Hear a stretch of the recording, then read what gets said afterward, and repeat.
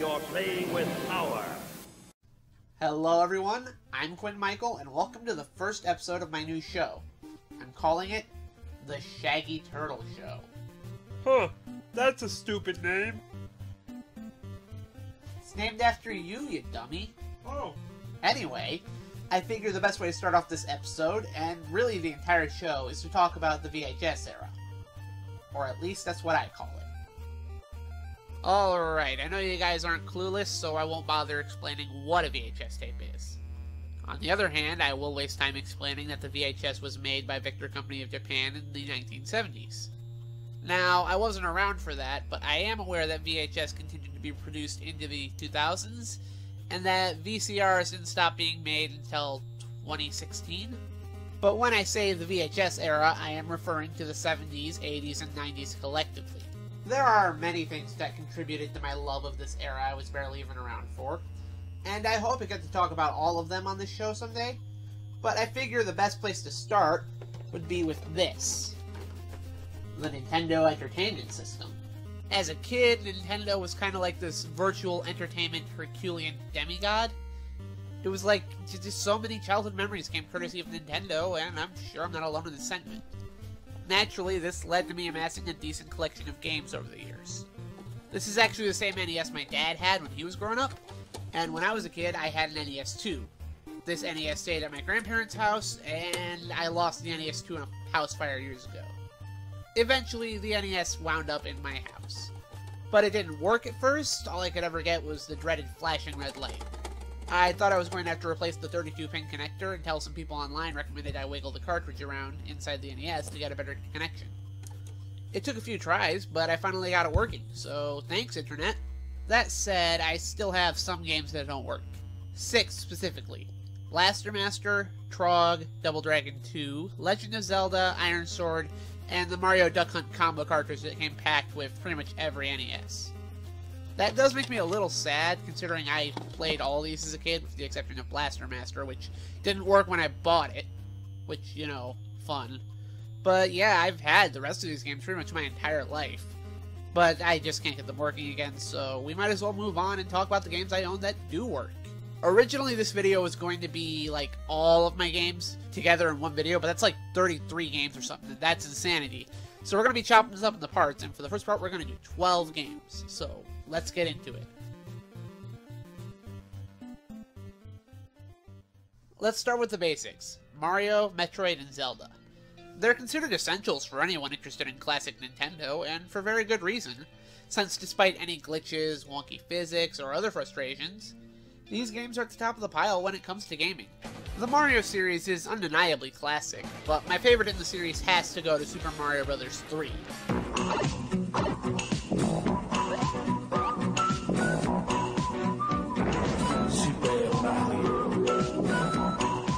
I feel like this is where the series really hits its stride. The controls feel perfect, the worlds are varied, and each offer a different challenge, and the power-ups are all nothing short of iconic. You got the Fire Flower, Raccoon, Tanuki, Frog, all classic stuff. Super Mario World on Super Nintendo is a better game, I think, but Mario 3 is definitely my favorite. Metroid was the first game I played that had a truly oppressive atmosphere. Like, you felt alone on this planet. It was you and your gun versus everything, and it felt scary at times. Or at the very least, tense. You never knew if you were actually going to survive to make it back to safety. And that makes it kind of special. It also has one of the most iconic endings in video game history. I would love to talk more about this game, but I want to give it its own dedicated episode later on down the line, so we're going to move on for now. But don't you worry, we'll be coming back to this one. Metroid. Watch Zelda become a legend on your Nintendo Entertainment System. Zelda! Whew, Zelda. What can I say about Zelda? I mean, it's my favorite NES game of all. It's my favorite video game of all time. I can't put into words how this game makes me feel. It's it's special. It's just it's special. I mean, I don't know if I'll ever be able to explain how much this game means to me. Got into my head, my heart, my imagination, like nothing else ever had. It's the game that made me want to make video games. That's really all I can say about it. Whoa, nice graphics. A lot of people are already familiar with the Mario Duck Hunt combo cartridge, but I have the cartridge that's Super Mario Duck Hunt and World Class Meet. There's not much to say about Duck Hunt, you just point your gun at the targets and shoot them. It's pretty fun. My zapper still works too, and this sound is ingrained into my brain. As for World Class Track Meet, you can't play that without the power pad, and I don't have the power pad, so we can't play it. It's kind of a shame, since I do remember playing it as a kid when I was being babysat, and I recall it being pretty cool, I think.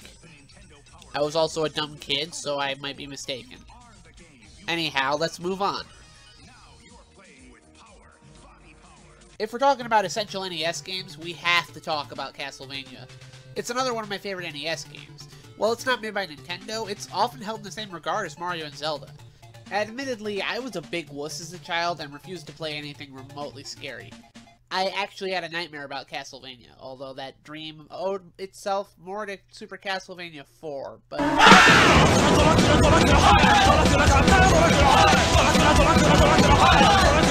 Thanks to that, I refused to touch Castlevania. When I finally stopped being a little pansy about it, I found one of the most finely crafted platformers I would ever play. Every encounter in this game is clearly thought out and has a solution. It's a little bit of a trial and error kind of game, but I don't see anything wrong with that. Lots of games are trial and error, and most people don't give it a second thought. And when they do, um, I'm just gonna let that situation stand for itself. Regardless of that, Castlevania's finely crafted challenge and unique horror-based style make this a must-own for any collection. Since we're already on the subject, let's talk about my other two Konami-made games. Remember when they made games? Well, here's two of them, Gradius and Life Force. These games belong to the Gradius series of side-scrolling shoot-em-ups. If you don't already like shmups, these won't convince you otherwise. But for those who are fans of the genre, you're likely already familiar with these. Gradius is a fine game and one of the early innovators in the genre, featuring a selectable power-up feature called the Weapon Bar. Certain enemies in the game leave behind an icon. Picking up one lights an option at the bottom of the screen, and each subsequent icon you pick up shifts the cursor towards the right.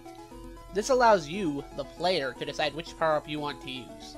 However, once you select a power-up, the selection will reset, so you gotta be smart. My recommendation is to use a speed up as soon as possible and then stockpile icons for the better power-ups. Namely the laser, the shield, and the option, which mimics your every move. The more of these you have, the more space you can cover. Or you could cheat. Up, up, down, down, left, right, left, right, B, A, start. Yep, we're going to talk about the Konami code. This code was popularized by Contra. Using it in that game gave you 30 lives, making the challenge seem far more surmountable. But it actually originated in Gradius. The code was created by Kazuhisa Hashimoto, the man behind the NES port of Gradius. He found the game to be too difficult during playtesting, so he created a cheat code to give himself a full set of power-ups. He forgot to remove the code from the final version of the game, and it was discovered and spread through word of mouth, and Konami began using the code in other games, like Life Force. Life Force, originally known in Japan as Salamander, is a spin-off follow-up sequel not really to Gradius. It's another game I played a lot as a kid. I got good enough at it that I could make to stage 3 if I had a game over without using the 30 lives code. For someone as unskilled and uncoordinated as me, I don't think that's very bad. The arcade version of Life Force utilized a more generic power-up system than Gradius, but for the NES version they used a Gradius weapon bar. Whether this is a good or a bad thing will depend on your tastes, but I personally prefer the NES version. That's probably just because of nostalgia.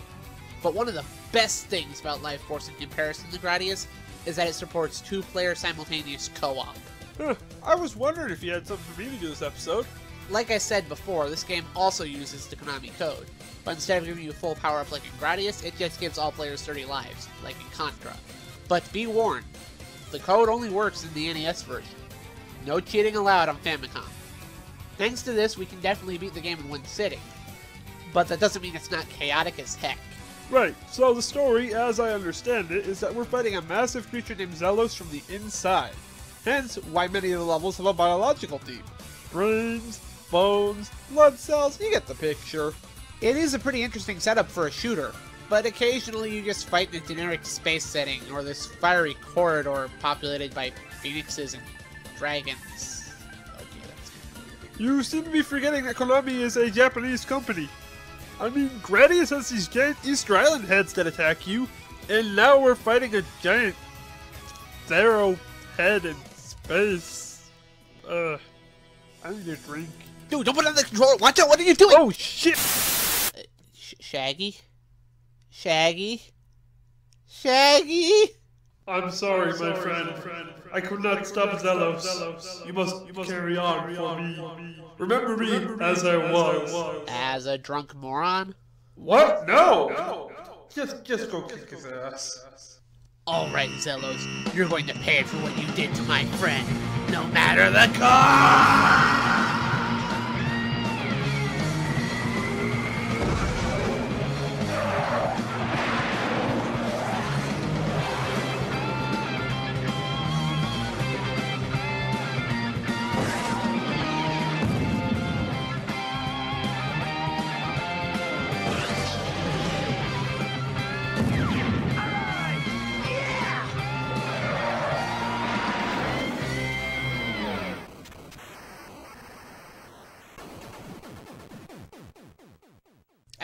Quick trench run, the game ends. This is where I will voice a small complaint. See, while the Japanese version doesn't have a cheat code, it does have a bonus ending depending on how many continues you use. If you do well enough, you get a little Metroid-style bonus. It might not be a bikini, but it doesn't really need to be. It's just a cool bonus. And on one more note, the Famicom cartridge is one of the coolest looking cartridges. To the point that I would collect it just for the coolness factor if I could.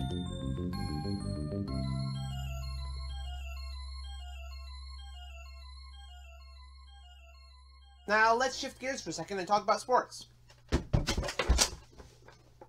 Not a fan. When I was a kid, I didn't really get sports games. I mean, why not just go play sports? But now I think I get it. It's probably a lot of fun to imagine being part of a successful sports team, or your favorite team, or even your favorite player. But since I'm not a sports guy, I can't really say I relate. I have two sports games in my collection RBI Baseball and the classic football game 10 Yard Fight. I don't think they're bad games. Are they good? I couldn't tell you. That might sound like a hand wave, and it is. But like I said, these aren't my kind of games. Speaking of shifting gears, does racing count as a sport? Alright then. Much like other sports games, I used to not really get racing games either. If I was going to play a sports or racing game, I wanted it to be over the top, like Arch Rivals or Mario Kart. But now that I'm older, I kinda get the appeal of driving a cool car at breakneck speeds. It might have also helped that one of my favorite shows as a child was Knight Rider. Knight Rider, a shadowy flight into the dangerous world of a man who does not exist. RC Pro Am is a game about racing remote control cars from an overhead isometric view. It's actually a lot of fun. You can even get power ups in between races and totally wreck your opponents. This game is made by the famous game company Rare, responsible for games like Donkey Kong Country, Banjo Kazooie, and Conker's Bad Fur Day. As such, both RC Pro Am and its sequel are available on the Rare Replay Collection on Xbox One. Now then, let's play some Rad Racer. Now this is what I'm talking about. This is probably the most well-known racing game on the NES, and for good reason. The game bears more than a passing resemblance to Sega's Outrun. They both even feature Ferraris. Although they are different models, and you can choose to be an F1 racing machine in Rad Racer. Naturally, Outrun is the superior game. I mean, what did you expect? It's on superior hardware. Rad Racer also lacks branching paths and has fewer music tracks. Actually, at first, I thought Rad Racer only had one music track that played at random, but after doing Wikipedia research for this video, I discovered for the first time that you can change the track from three different ones, or silence by pressing down on the control pad. I've been playing this game for almost 20 years, and I only just now figured this out. I am an idiot. All three tracks are fine, and I'd love to hear a Sim-style cover of some of them. But personally, I prefer to do what I do with all racing games and play the soundtrack from the fantastic 80s movie The Wraith. Or as I like to call it, 10 terrific tracks that will get you a speeding ticket.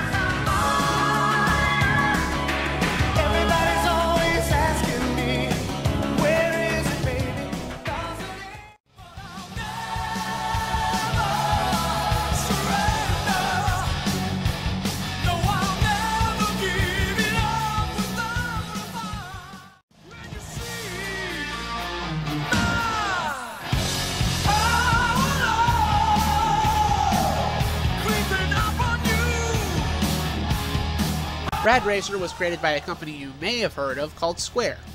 According to Wikipedia, the main reason for the development of the game was that Square owner Masafumi Miyamoto wanted to demonstrate programmer, and I'm going to butcher this name, I'm sorry, Nasir Gebelli's 3D programming techniques. Speaking of 3D, if you have a pair of 3D glasses laying around, you can press select to activate a 3D mode. I do not have 3D glasses, so this is entirely pointless. It was also directed and supervised by Hironobu Sakaguchi, and the music was created by Nobuo Uematsu. This was the last game the company released in America before all three of these guys moved on to another great game I happen to own.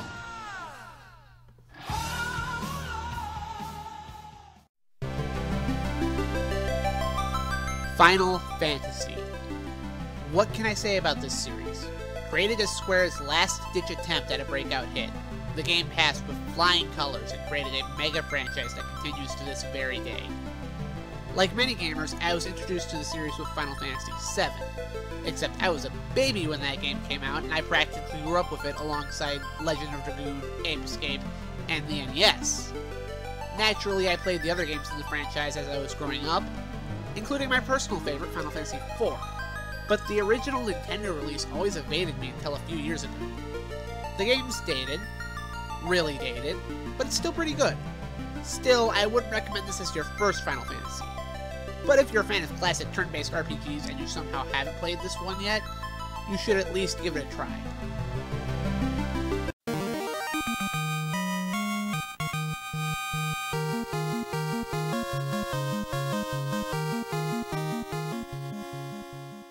There's so much in this game that it deserves its own video someday. But unfortunately for this video, we're out of time. Tune in next time when we talk about some arcade type games and some of those black Tengen cards. There's some pretty interesting history there. But until next time, I'm your host Quinn Michael. And I'm still the ghost. And like it or not, we'll be back next time.